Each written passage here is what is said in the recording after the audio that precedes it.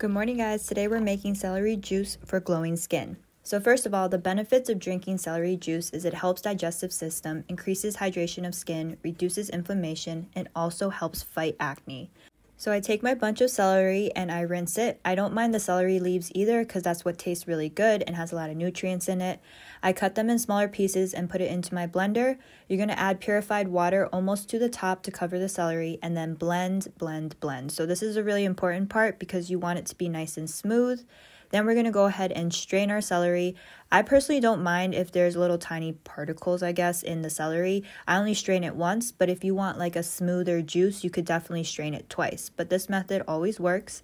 I fill up my celery cup and add some ice with a reusable straw. And then I multitask and drink this while I'm doing my skincare. I honestly love the taste and it makes my body and skin feel great.